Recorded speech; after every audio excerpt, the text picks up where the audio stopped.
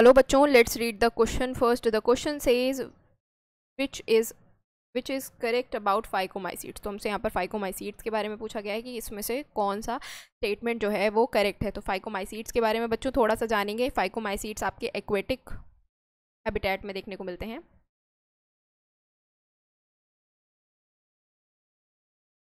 इसके एग्जाम्पल्स के लिए आप हमेशा याद रखेंगे बच्चों। आप याद रखेंगे R A M Ram. Ram याद रखेंगे तो इनके एग्जाम्पल्स याद रहेंगे आपको, यानी कि राइजो बस। एल ब्यूगो यूकर अब ये तो हो गई हैबिटेट और एग्ज़ाम्पल की बात। अगली बात करते हैं बच्चों, ये कैसे दिखते हैं? ये जो है, इनका माइसीलियम जो है, वो ए सेप्टेट होता है aseptate aseptate mycelium and coenocytic aseptate and coenocytic mycelium होता है इसका। ओके ए सेक्शुअल रिप्रोडक्शन की बात करूँ बच्चों तो ए सेक्शुअल रिप्रोडक्शन टाइप्स के टाइप्स के स्पोर बनते हैं। एक होता है मोटाइल ए सेक्शुअल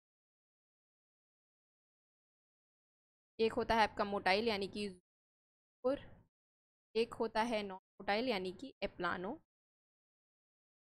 फोर्स अब बच्चों, हम अपने ऑप्शंस को देख लेते हैं। हमारे ऑप्शंस में हमें दिया हुआ है सेप्टेट मल्टी सेलुलर माइसीलियम तो सेप्टेट मल्टी सेलुलर माइसीलियम नहीं है बच्चों ए सेप्टेट और सीनोसिटिक माइसीलियम है। तो ये गलत हो जाएगा। Sexual reproduction by zoospore only तो बच्चों जू स्पोर ओनली नहीं होगा। यहाँ पर दो तरीके के स्पोर्स आपको बनते हुए दिखेंगे। ए प्लानो स्पोर और स्पोर दोनों। तो यहाँ पर ओनली जू स्पोर लिखा था तो ये स्टेटमेंट भी हमारे लिए गलत हो जाएगा। हमें थर्ड दिया हुआ है सेल वॉल इज़ काइटीनियस तो जो सेल वॉल होती है, वो कोई भी फंजाई हो बच्चों, वो किसकी बनी होती है? काइटिन की बनी। ये स्टेटमेंट बिल्कुल सही है। Conidia are formed during dry condition बच्चों फाइकोमाइसिस में कोनेडिया के फॉर्मेशन नहीं होता तो करेक्ट आंसर क्या हो जाएगा? हमारा ऑप्शन नंबर हमसे क्वेश्चन में पूछा गया था, हमें करेक्ट बताना था फाइकोमाइसीड्स के बारे में तो करेक्ट बता दिया which is option cell wall is chitinous आप लोगों को ये सोल्यूशन समझ में आया बच्चों thank you all the best